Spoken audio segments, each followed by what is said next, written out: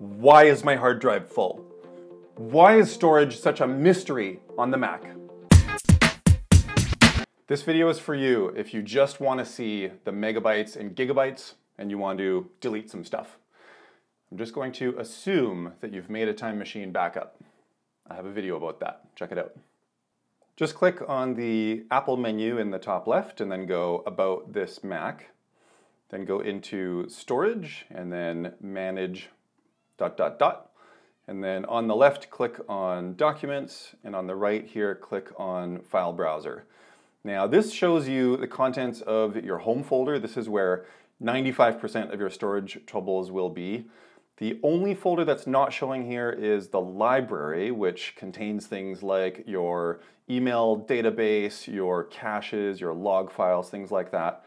Pro tip, uh, on the keyboard, hold down Command and Shift and press period, and that will show invisible folders. Now you can see what's in the library. If you click on a folder, it shows you the contents of it, and you can click on something and then move to trash. Once it's in the trash, just click the trash and empty the trash to free up the space. Now, if you're not sure if it's safe to delete something, just take a screenshot and email it to me. It's solutions at macinhome.com. Boom! Storage epiphany. If you found this helpful and you want some private Mac coaching with me or someone from my team, just head to macinhome.com slash booking. We work with people all over the world.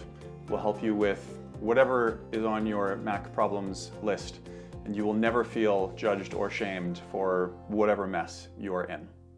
I'm just going to assume that you have a time machine backup in case you make a boo-boo.